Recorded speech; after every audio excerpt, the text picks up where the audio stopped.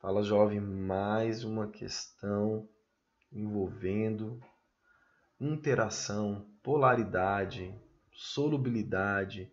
Então cai muito isso. Isso aí na prova de 2016, como você já deve ter observado, caiu bastante, tá, pessoal? Então ele fala o seguinte: os tensoativos são compostos capazes de interagir com substâncias polares e apolares.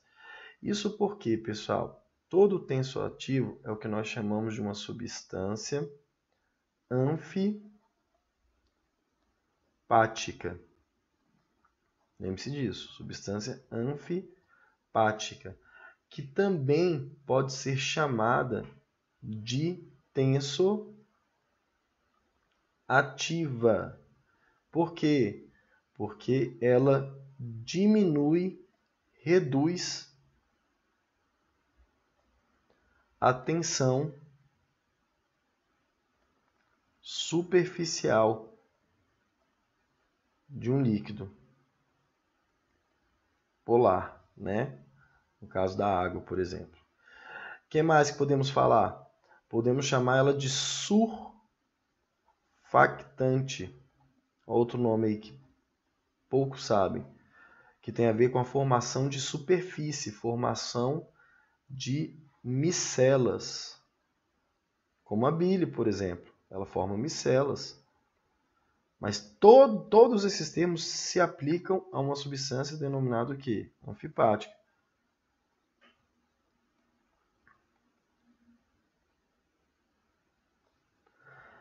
E também podemos chamá-las de agentes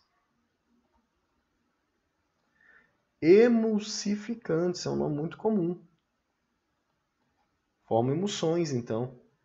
São responsáveis pela estruturação da emulsão, eu dependo deles.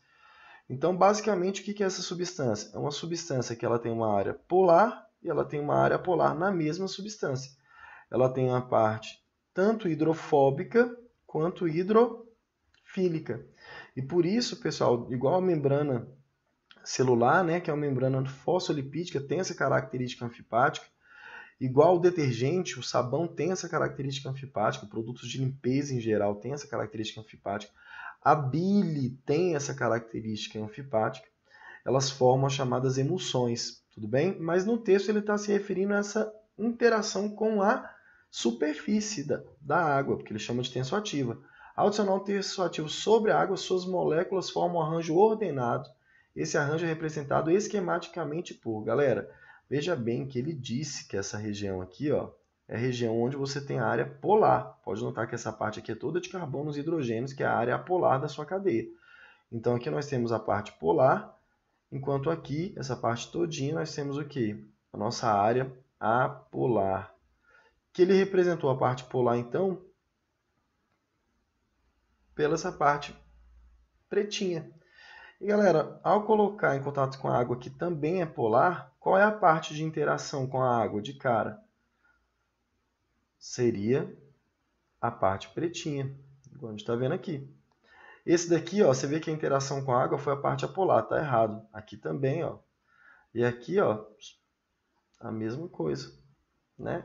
Jonas, esse aqui também, a parte polar está batendo com a parte da água. Beleza, mas eu estou falando, pessoal, da, do nível da água aqui ó, está acima da parte apolar.